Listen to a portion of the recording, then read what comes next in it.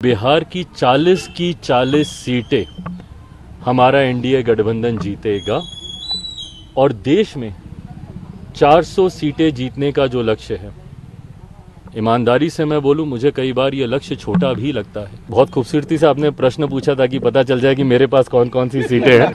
ये गठबंधन की घोषणा नहीं है, क्योंकि गठबंधन में हम लोग हमेशा से थे। पर चुनाव को लेकर, लोकसभा चुनाव को लेकर, आज जब सीटों का बंटवारा हो चुका है। गठबंधन का स्वरूप पूरी तरीके से तैयार हो चुका है। तो आदरणीय नरेंद्र मोदी जी का हृदय से आभार प्रकट करता हूँ।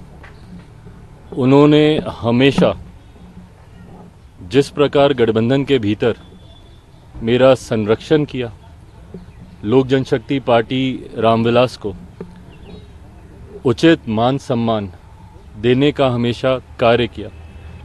मेरे नेता आदरणीय रामविलास पासवान जी, को जिस तरीके से उन्होंने अपने साथी, अपने दोस्त की तरह, उनके रहते हुए और उनके जाने के बाद भी, जिस तरीके से उनके मान सम्मान को हमेशा ऊँचा करने का काम किया, ऐसे में लोक जनशक्ति पार्टी रामविलास का हर एक कार्यकर्ता, आज खास तौर पर हमारे प्रधानमंत्री जी का धन्यवाद करता है, क्योंकि आज पुनः एनडीए के साथ जो हम लोग का पुराना गठबंधन रहा है, जिस गठबंधन के तहत दो दो बार हम लोग लोकसभा और दो दो बार हम लोग विधानसभा का चुनाव पिछले दस सालों में हम लोग लड़ चुके हैं, आज पुनः उस गठबंधन को एक नई मजबूती देने का कार्य किया। मैं भारतीय जनता पार्टी के राष्ट्रीय अध्यक्ष आदरणीय जेपी नड्डा जी, केंद्रीय गृह मंत्री आदरणीय अमित शाह जी का भी विशेष तौर पर धन्यवाद करूँगा। जिन्होंने एक जिन्होंने एक बड़े भाई की भूमिका, पार्टी के तमाम हितों को, पार्टी की तमाम चिंताओं को, पार्टी के तमाम कंसर्न्स को ना सिर्फ़ एक्नॉलेज किया, बल्कि एड्रेस करने का भी काम किया। आज जब हम लोग गठबंधन, ये गठबंधन की घोषणा नहीं है, क्योंकि गठबंधन में हम लोग हमेशा से थे, पर चुनाव को लेकर, लोकसभा चुनाव को लेकर आज जब सीटों का बंटवारा हो चुका है, गठबंधन का स्वरूप पूरी तरीके से तैयार हो चुका है तो इस मौके पर मैं केंद्रीय गृह मंत्री आदरणीय अमित शाह जी का, आदरणीय जेपी नड्डा जी का भी, अपनी तरफ़ से, अपनी पार्टी के हर एक कार्यकर्ता की तरफ़ से, उनका भी मैं धन्यवाद करता हूँ। आने वाले दिनों में लोक जनशक्ति पार्टी रामविलास सिर्फ़ और सिर्फ़ एक ही लक्ष्य के साथ इस रण में उतरेगी कि बिहार की 40 की 40 सीटें हमारा एनडीए गठबंधन जीतेगा और देश में 400 सीटें जीतने का जो लक्ष्य है, ईमानदारी से मैं बोलूँ, मुझे कई बार ये लक्ष्य छोटा भी लगता है और ये ओवर कॉन्फिडेंस नहीं है।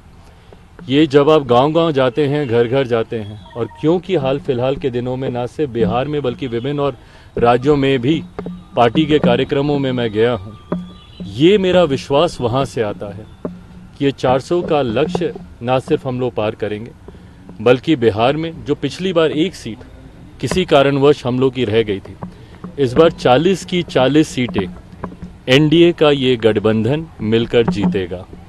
सर 2014 2019 का जो फॉर्मूला था सीटों को लेकर क्या उसको लेकर कुछ आप बता पाए कि कितनी सीटों पर बात बनी? आपने ट्वीट किया है कि सहमति बन गई। कितने सीटें आपकी पार्टी को मिली? भाई हकीकत है, मैं पुनः मैं दोहराता हूँ जो मैं बार बार मैं कहता हूँ कि मैं गठबंधन धर्म की मर्यादा को तोड़ूँगा कि मैं कोई भी बात सार्वजनिक आप लोगों के साथ पहले कर लूँ, जबकि गठबंधन और आप लोगों ने देखा है कि हमेशा से 2014 में भी गठबंधन के तमाम साथियों ने बैठकर इसकी घोषणा की। पंद्रह में भी विधानसभा के चुनाव में भी हम लोगों ने ऐसा ही किया।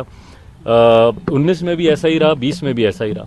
मुझे लगता है बहुत जल्द गठबंधन के तमाम साथी, वो सब एक साथ बैठकर न सिर्फ़ सीटों की बल्कि सीटों का चयन भी हो चुका है उसकी भी घोषणा हम सब साथ मिलकर करेंगे। हाजीपुर को लेकर हाजीपुर को लेकर एक चीज़ आ रहा है कि जो दूसरा खेमा है आप लोगों का क्या वो इस गठबंधन का हिस्सा है क्या वो आपके कोटे में है या नहीं है? भाई मुझे नहीं पता आ, कि वो गठबंधन का हिस्सा है नहीं है ना ही वो मेरी चिंता में है।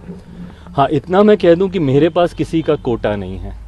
मेरी जो सीटें हैं वो सिर्फ़ मेरी हैं। गठबंधन में कौन है वो है कि नहीं कौन है नहीं बाकियों का तो मुझे पता ही है वो है कि नहीं मुझे नहीं पता। बट हाँ मेरे पास किसी के कोटे की सीटें नहीं हैं। पाँच हो है किसको कौन सी सीटें मिलेगी डिसाइड हो चुका है फॉर्मल बस अनाउंसमेंट हो जी फॉर्मल अनाउंसमेंट बाकी है बाकी सारी चीज़ें डिसाइड हो चुकी हैं। सवाल ये है बता रहा है कि हाजीपुर आपके पास। चिराग जी एक सवाल ये है कि अब नीतीश कुमार के साथ भी आपको एक मंच पे खड़ा रहना होगा एक मंच साझा करना होगा। क्या इसके लिए आप तैयार हैं?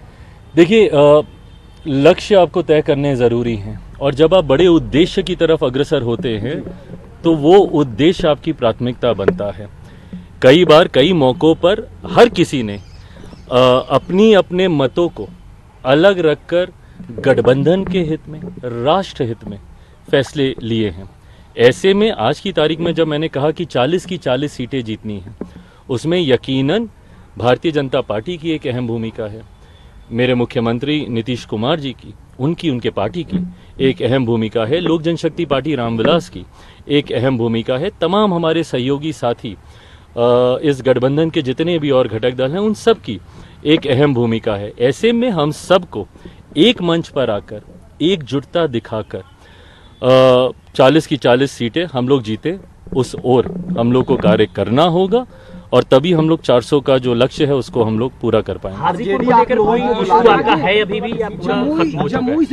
पूछ रहे हैं कह रहे हैं कि इस बार क्या हमारे नेता जमुई को रिप्रेजेंट करेंगे या नहीं करेंगे? चौदह ये ये ये अब क्योंकि अब सीटों का बंटवारा हुआ है और बहुत खूबसूरती से आपने प्रश्न पूछा था कि पता चल जाए कि मेरे पास कौन कौन सी सीटें हैं। बट हाँ जो भी सीटें लोक जनशक्ति पार्टी रामविलास के पास आई हैं, उनमें कौन प्रत्याशी होगा, ये पार्टी बैठकर इसका फैसला लेगी। पार्टी का संसदीय बोर्ड इसका फैसला लेगा और वो भी मुझे लगता है it's just a matter of time because अब अधिसूचना। मुझे लगता है जल्द आएगी। तो बहुत जल्द ये सारी बातें भी साझा की चिराग जी, आपने चिराग जी, कल बोला था कि एक आपके कुछ साथ होगा। कंसर्न्स हैं वो आपने नड्डा जी अमित शाह के सामने अपने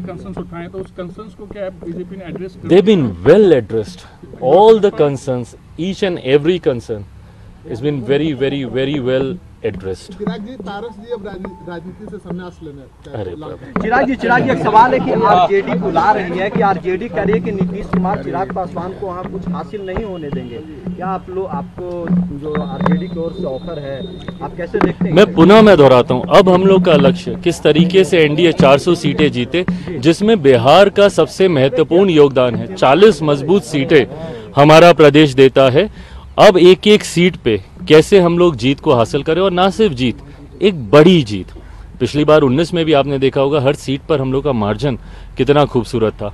उस बड़े मार्जिन की जीत और मेरे मुख्यमंत्री जी के इस गठबंधन में आने से यकीनन ये बात तो हुई है कि जीतों का जीत का जो मार्जिन है, वो हर सीट पे हम लोग हम लोग का बढ़ेगा। और एक बड़ी जीत की ओर एनडीए गठबंधन बिहार में और देश में अग्रसर होगा ये विश्वास है। Thank you